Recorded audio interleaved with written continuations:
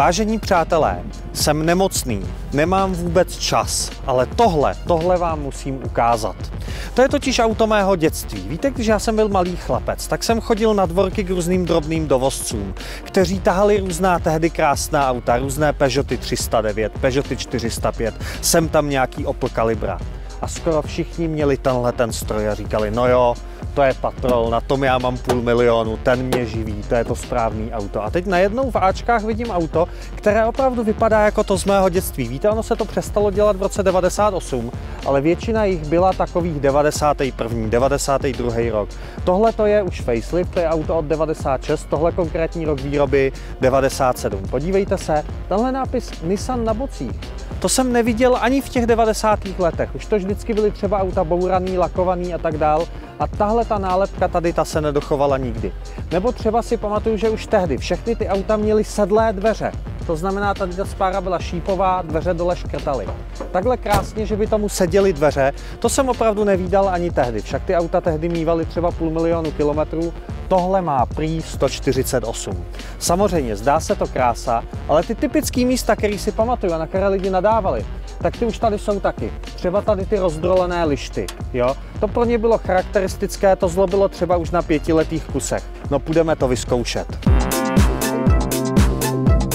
Vždycky u patrola bylo velmi důležité pomalu ho zahřívat, protože ta šestiválcová hlava se uměla skroutit a uměla i popraskat, zejména když měl někdo zarostlý chladič. Tohle je model, co už má chladič širší, který už eh, na to tolik netrpěl, ale stejně u toho předkomůrkového motoru bylo prostě strašně důležité sledovat teplotu a taky to trochu točit, nepéct to z nízkých otáček. Nakonec ono to auto to vůbec nemá rádo.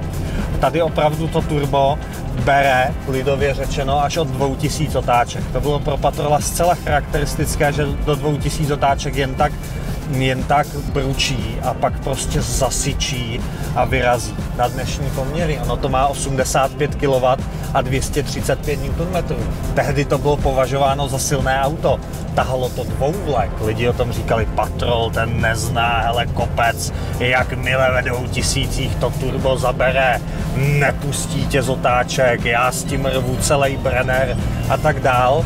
Takovéhle keci jsme slýchávali No, dneska je to čajíček, ale přesto chápu úplně tehdy to nadšení těch lidí, když kolem 2000 otáček to turbo dostalo takový ten charakteristický zvuk. Poslouchejte, teď máme nějakých 1700 a poslouchejte. Slyšíte to turbo?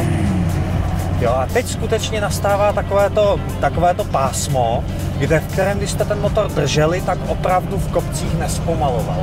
To bylo velmi nezvyklé, protože všechny atmosférické výzly v kopci okamžitě ztrácely tempo. Jo, teď opravdu rveme, máme 2000 otáček a rveme celých 235 Nm. Nějaké vůle v podvozku, ono totiž se řekne, větuvý nápravy mladý, to je ingot, to nezničíš. No jo, to je super, když jezdíte v terénu, kde takhle pracují, pod váma se to takhle všechno kříží pěkně, v autě se, auto se s váma nepřevrací ze strany na stranu. No jo, ale na silnici, když takhle přejedete ránu, tak ta náprava, která má spoustu kilo, dělá bak, bak, ty kola, že jo. Musí to chytat tlumiče, musí to chytat silem bloky těch podélných závěsů, musí to chytat panhardské tyče.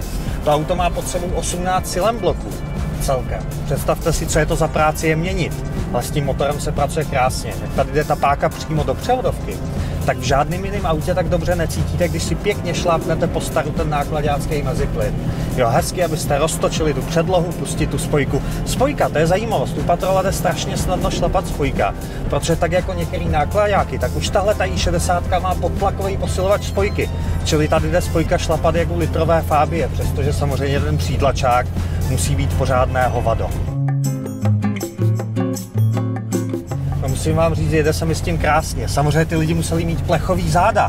Je neuvěřitelný, jak s tím mohli jezdit. Tady sedíte úplně takhle na straně, jako v multikáře, úplně u toho bočního skla, ten nádherně topí. Jsme tady v Bundě, jedeme chviličku a už je tady horko. To byla výhoda těch předkomůrkových motorů, prostě dělali obrovského tepla. Pane, to je dojmu během té kratičké jízdy. No já musím říct, že by potom člověk teda toužil zase. Jo, je to taková ta poctivá strojařina pěkně. Já jsem chlap, já si umím dát meziplyn, mě tam ta páka vlítne zcela bez odporu. To dneska u těch aut, kde zapruží lanovody, kde motor se hned takhle v silem blocích, vůbec necítíte, jestli dobře šlápnete meziplyn. Tady se hned poznalo, kdo je řidič a kdo je lama.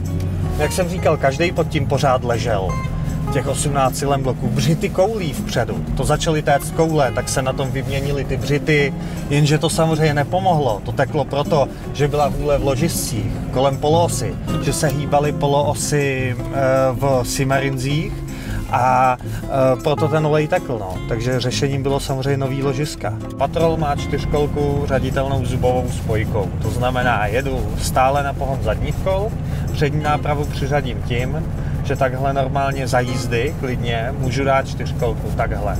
Ale nesmím zatočit, jo? Nesmím zatáčet, v tu chvíli se ta auto hrbí. Tak se pojďme podívat, jak to bude vypadat ze spoda. Patrol a jeho dvě tuhé nápravy. To se řekne, že je nejrobustnější řešení, ale už jsme zmiňovali, že je to taky vlastně poměrně komplikovaná věc. Tyhle ty podélné závěsy, tady jsou dva takovéhle velké silem bloky, tady je nějaká panhardská tyč, spojovací čep řízení, tlumič toho řízení, který tady musí být. A tady vidíte všude spoustu silem bloků, tady je čep, ale tady jsou veliké silem bloky, kterých může být vůle. Jednoznačně nejčastější chronické místo byly ty koule.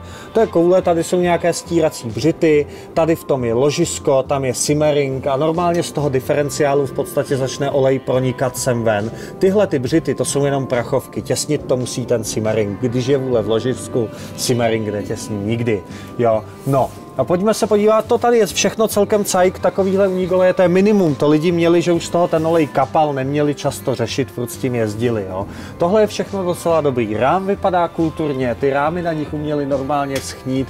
Tohle to někdo je vidět, že stříkal to nějakým bitumenem, je ta karoserie ze spodu taky je. Tohle je ta ruční brzda na kardan, co jsme o ní mluvili. To všechno vypadá velice hezky. A nejproblematičtější místo, a to tady je taky špatný, tak máme tady. Podívejte se, i ten nejhezčí patrol na světě světě už to má špatný. To na nich bylo vždycky. To jsou tady vzadu zrazlí ty kapsy v podstatě. Tady sedí na silem bloku karosérie na rámu a ta karosérie, přestože je to jenom šlupička, to auto by normálně jelo, když byste tuhle kastli úplně dali dopryč, byl by takhle rám, byl by na něm motor, nápravy, tohle všechno jelo by, není to samonoska, je to jako veterán z 30. let v podstatě tak přesto, že ta kastle je jenom šlupička, tak ten práh má tři vrstvy. Čili tohle to udělat, všechny ty tři vrstvy toho prahu, to je pro klempíře pěkná, vysoce kvalifikovaná práce, kterou když to budete chtít, tak to dobře zaplatíte. No jinak zbytek toho auta opravdu je kulturní. Patrol už byl vlastně relativně moderní v tom, že měl vynutý péra, to už není auto na listácích, to byl ten předchozí, ta třicítka, tahle 60 už má vynutý péra. A jinak to vlastně všechno vypadá dobře, akorát ta koroze která teda byla opravdu jeho největší úskalí, kvůli který už ho nevidíte, tak už je tady. Podívejte se, to prostě, že na to někdo valil asfalt, to nepomohlo ničemu. Čili ta karoserie, ta už se bude řešit i tady. Největší atrakcí toho auta určitě pro mě vždycky byl ten motor. Jo, řadový šestiválec s krásným tichým zvukem, předkomůrka. Takováhle krásná věc, podívejte se. No tady to vypadá úplně jako nový, nikde žádný úniky oleje, to prostě opravdu vypadá jako auto, které nejezdilo. Takhle hezky já jsem ho nikdy neviděl, žádné úniky nafty kolem střiků a tak. Naprosto klasické turbodmychadlo dole s optokovou klapkou regulované přetlakem, normálně přetlakem ze sání, jo, na nějakou limitní hranici. Tady úplně mechanické střikovací čerpadlo ještě. Pak když tenhle ten motor měl být i v tom kulatém patrolu, tam dostal nahoře interkoler a elektronické čerpadlo. Myslím, že tam byl nějaký zexlkovek. Jo. Takže tady vidíme, to je krásná vzpomínka. No to opravdu, i když jsem na ty auta koukal tehdy v dětství, tak ty motory byly podstatně používanější.